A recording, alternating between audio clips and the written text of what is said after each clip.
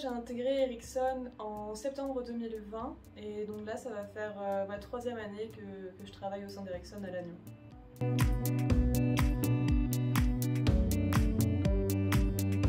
J'ai fait mon DUT informatique euh, en alternance, donc à Ericsson à Lannion aussi.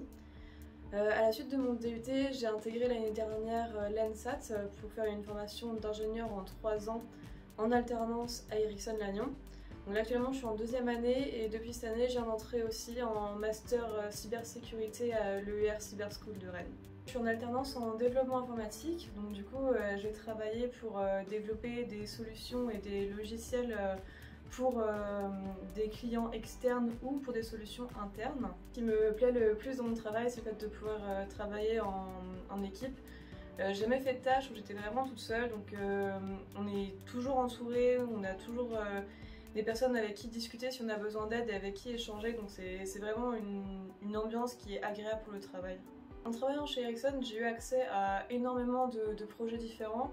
J'ai pu découvrir euh, pas mal de technologies, travailler avec euh, plusieurs équipes, donc découvrir aussi plusieurs modes de fonctionnement.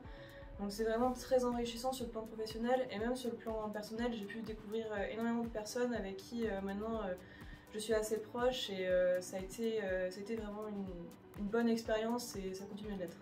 Pour moi, les avantages de l'alternance, ça va être tout d'abord euh, l'indépendance que ça offre, euh, dans le sens où j'ai pas eu besoin de l'aide de mes parents pour euh, tout ce qui était loyer, nourriture, essence, assurance, tout ça. Donc dès ma deuxième année d'études sup, j'ai pu être autonome.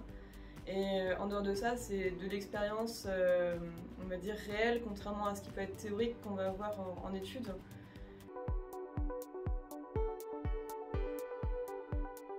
Alors euh, au boulot, quand j'ai besoin de me concentrer, j'aime bien écouter du lofi.